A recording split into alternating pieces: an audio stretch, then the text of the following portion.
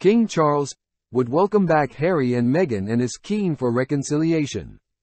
King Charles would welcome a reconciliation with his son Prince Harry and wife Meghan, a friend of the new king has claimed. The revelation comes less than a week after Charles was crowned King of the United Kingdom, with his wife, Queen Camilla. The Duke jetted straight back to the US following the ceremony but not before visiting Buckingham Palace, his first time seeing the royal home since his grandma, Queen Elizabeth died. Harry went back to California for his son, Prince Archie's birthday. The Duke joined a 2,000-strong congregation in Westminster Abbey for his father's coronation, and was spotted grinning with pride. A friend of King Charles told the Daily Beast that he will always want to reconcile with his son and Meghan. The friend said, The opportunity that was there for Harry to sort this out with the king is gone for now.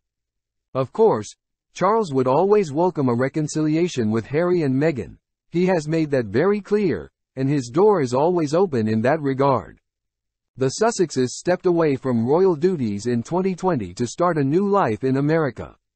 The couple have pursued a series of media adventures in the US that has seen them break with royal tradition, including their Netflix documentary, Harry and Meghan. Harry also provided fresh insights into life as a royal in his tell memoir Spare, making claims about other senior members of the family, such as his brother Prince William. The Duke and Duchess may have broken royal protocol, but the King's coronation signaled that the institution will always welcome them back into the fold. Harry flew into the UK for his father's coronation on a commercial American Airlines flight, just 24 hours prior to the event, accompanied by a throng of stunned passengers. He traveled over 5,000 miles to join the rest of the royal family in celebrating his father's big day. Arriving on Friday evening, the Duke spent around 28 hours in the UK, and left for California shortly after the ceremony had concluded to be with son Archie on his fourth birthday.